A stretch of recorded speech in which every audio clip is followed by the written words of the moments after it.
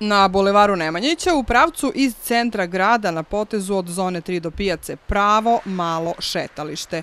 Prelazi se ulica, tačnije bulevar, gde ko stigne. Nema pravila, nema ubrzanja, nema čak ni mnogo pažnje. Pešaci prelaze ulicu onda gde im je najzgodnije, bez obzira što je pešački prelaz na manje od 100 metara dalje.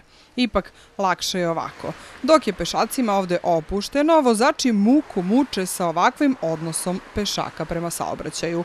Vozači moraju dodatno da otvore oči jer između dve promene semafora ovde je na desetine pešaka koji prelaze van zebre nije nikako dobro, naročito što odrasli uče i mališane da ovde može da se prelazi, ali naša savest i naša svest je očigledno ovde zakazala, a naša narav i tekako došla do izražaja.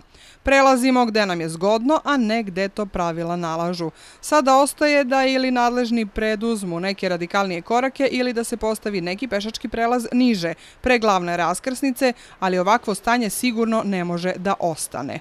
Nadležni upozoravaju da će pojačati kontrole i da je neophodno da se poštuju pravila. Prema zakonu o saobraćaju, kazne za pešake visoke su skoro kao i kazne za vozače. Prelazak na crveno svetlo košta 5000 dinara, a ako to uradite u prisustvu maloletnog deteta, kazna je od 15.000 do 30.000 dinara.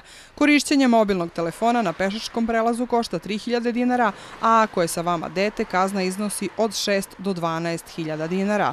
Za slušalice u oba uha na pešačkom prelazu plaća se 3000 dinara, a ako je prisutno dete do 12 godina od 6 do 20.000 dinara. Prelazak van pešačkog prelaza je 5000 dinara, a ako vodite dete, kazna naraste na 6 pa čak do 20.000 dinara.